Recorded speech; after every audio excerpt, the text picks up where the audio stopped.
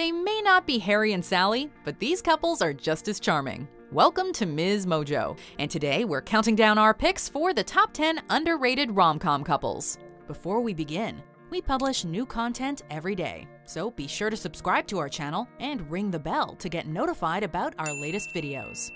For this list, we're taking a look at the couples from romantic comedies who made their films wonderful, but haven't quite gotten the recognition they deserve, no matter how popular the film itself may be. I came to find you. You did. Number 10, Jonathan Trager and Sara Thomas, Serendipity. My, My boyfriend. girlfriend. Her boyfriend. His girlfriend. His her, her girlfriend. boyfriend. John Cusack has starred in some well known romantic comedies throughout his career, but his chemistry with Kate Beckinsale in this early 2000s gem makes it one of the best. Don't make me come over there. Okay, Okay. right. If we both randomly pick the same floor, we're meant to be together now. After falling in love one night and leaving it up to fate that they'll meet again, Jonathan and Sara find themselves at a crossroads years later. Both are engaged to be married, though they've never forgotten each other. I'm John. I'm Sara. And it's this idea of defying their life plans for one another that makes them such a unique couple. Number 9.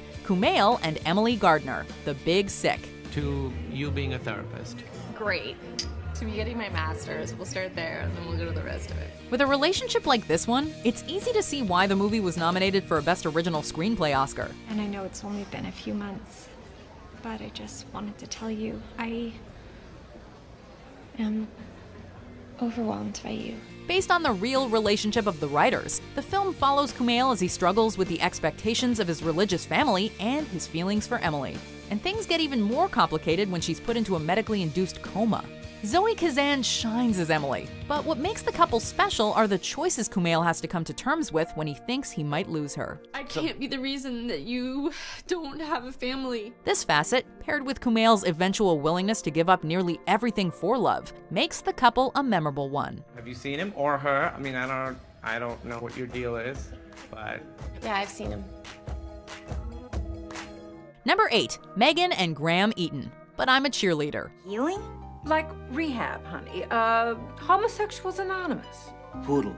It's only for a few months. This comedy about a high school cheerleader sent to a conversion therapy camp was ahead of its time when it was first released. Want me to do what I want? I could care less. What I really want? Screw you! And the bond between Megan and Graham was definitely one of the highlights.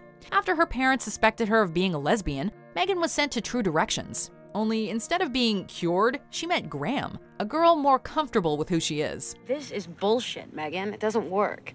You are who you are. The only trick is not getting caught. Over the course of the movie, the two would begin to balance each other out. Graham would be afraid of her father's disownment, while Megan would begin to accept herself and her feelings for Graham, convincing her to be true to herself. Number 7. Donna Stern and Max, Obvious Child. It's a lot of story. Yeah, it is. I like your shirt. thank you. Not many relationships can blossom from a one night stand, but such is the case with Donna and Max. Jenny Slate plays a comedian going through a particularly rough breakup when she meets the polite Max, played by Jake Lacy. Donna is in desperate need of a wake up call to adulthood, which comes after her night with Max leaves her pregnant. But it's this unplanned event that pushes the two together as she plans for an abortion. What makes the couple work so well are their vastly different personalities. What about pools? No, no way. Were you peeing pools? I peed in every pool I've ever been in. Whereas she's open about every aspect of her life, he's closed off and a bit too self conscious. Both are flawed, yet they fit wonderfully together. Thank you for coming. Thanks for letting me. See you on the other side. Number 6. Rachel and Luce, Imagine Me and You. When you suddenly realized you had been incomplete and now you were whole. Nothing hurts quite like forbidden love. After seeing the florist, Luce, on her wedding day, Rachel is unable to get her out of her head. I'm Luce. Rachel, I did your flowers. You did? My flowers are nice. What follows is a series of touching moments where she struggles with whether or not to stick with her marriage as the two grow closer. You make me feel something, something I absolutely cannot feel. The film may not have impressed many critics, but Piper Perabo and Lena Headey as the two leads bring a heartening romance to life. And their conflicting feelings for what they want versus what's right make the film even more engaging. Number 5. Peter Bretter and Rachel Jansen Forgetting Sarah Marshall. So, uh, how do you like writing music for a TV show? This raunchy Judd Apatow production was incredibly well received thanks to its writing and performances from Jason Segel, Russell Brand, and Mila Kunis.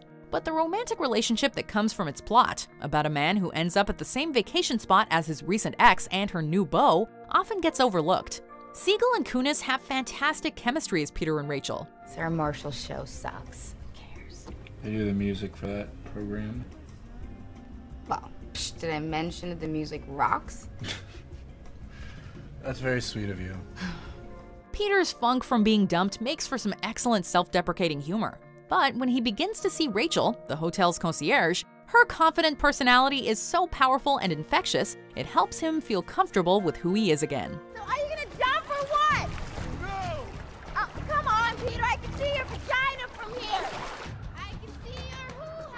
Number 4. Peter Warne and Ellen Ellie Andrews, It Happened One Night. Wait, you're not going to notify my father, are you? What for? You probably could get some money out of him. I never thought of that. Sometimes the one you need isn't who you're looking for. I beg your pardon. Now listen, I put up a stiff fight for that seat. So if it's just the same to you, scram. In the case of Peter and Ellie, neither of them were looking for love when they met, but it's something that inexplicably grew between them. She's a spoiled newlywed heiress running from her father, while he's a recently fired reporter looking for a story to bring his career back. The delightful and lively performances from Clark Gable and Claudette Colbert are really what sell the story. We can run away. Everything will take care of itself. Please, Peter. I can't let you out of my life now. And by the end, they're both willing to sacrifice everything to be with each other again. This one may have slipped slightly into obscure film history, but it really shouldn't have. Certainly outsmarted your father. I guess you ought to be happy. Number 3. Celeste Martin and Jesse Abrams. Celeste and Jesse Forever. Don't want to pressure you in anything, but this gentleman is awfully lonely and just here I'll show you how it works. Just This rom-com already differentiates itself from others in the genre by starting with a relationship that's already ended. But the tangible feelings between stars Rashida Jones and Andy Samberg as the titular pair make it even better. After deciding to call it quits on their marriage, Celeste and Jesse remain best friends, though the complicated dynamic becomes worse when they both try to see other people. can't believe I'm having a baby and it's not with you. Watching two characters who fit so well together yet can't make it work tugs on the heartstrings. It's the layered performances of the two leads, along with the fresh take on relationships, that makes this one a must see. I don't know what the rules are, and I'm sure I'm breaking them, but uh, I, re- I really miss you. Number 2. Phil Connors and Rita Hanson, Groundhog Day. But why are you still here? You said stay, so I stayed. While the majority of what makes this 90s comedy work is the hilarious Bill Murray, the romantic relationship that gets built up over the plot is just as vital. At the start, Phil is a jerk reporter who hates the idea of covering the holiday, while Rita is much more pleased with her job. But when Phil is forced to relive the same day over and over, he begins to see how amazing she really is. It's the film's setup that convinces Phil to be a better person. And seeing him live through countless versions of moments with Rita just to make her happy made us fall in love with him in the process. Before we unveil our number one pick, here are some honorable mentions. So if you're scared, why do it? Because the things you're scared of are usually the most worthwhile. Just a theory. What are you gonna get? I think I'm gonna get the BLT minus the B plus the PC. What's the PC? Pickles and cheese. That's not a BLT. You are literally like my musical soulmate. It's unbelievable. Except for all the cure. Number one, Lucy Eleanor Moderatz and Jack Callaghan, While You Were Sleeping. For protection. Oh, no, I'm fine. I'm, I'm okay. For me, I don't want to be here by myself. This is Chicago. While this 90s rom com did well upon release, it hasn't quite been considered a classic, but it more than deserves it. It focuses on a lonely woman who's mistaken as the fiance of a patient who's in a coma and decides to keep the lie going when she meets his loving family. However, this includes a younger brother, who she actually begins to love over the course of the movie. It's one of the more unique meet cutes in any romantic comedy, and it's propelled forward by one of Sandra Bullock's best performances. For romance fans looking for something that has equal amounts of charm and tender moments, you can't go wrong with this one. Marry me?